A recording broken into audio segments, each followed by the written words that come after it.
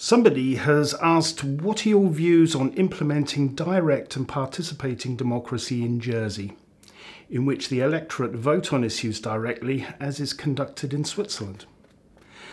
My views are entirely supportive of direct democracy. It is a system of decision making that we are well used to exercising at parochial level, with the rates and other items decided directly and by participation of parishioners. It is also a fundamental part, as the question suggests, of decision making at municipal, canton, and even federal level in Switzerland, and has been that way for hundreds of years.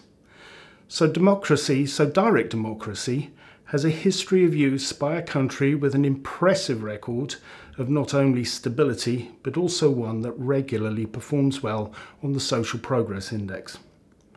I do believe that direct democracy would encourage greater engagement between the electorate and their own political system, because the state is a system that does belong to the people of Jersey.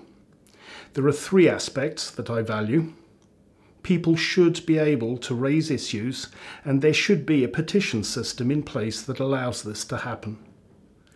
People should be fully involved in debate, and this should properly be facilitated by a culture of transparency.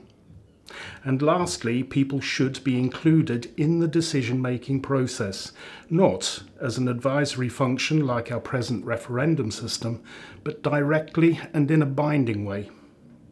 The problems that we face in St Clement are very real, and I believe that facing them together and providing solutions by consensus, we are more likely to find the solutions that suit us. Thank you.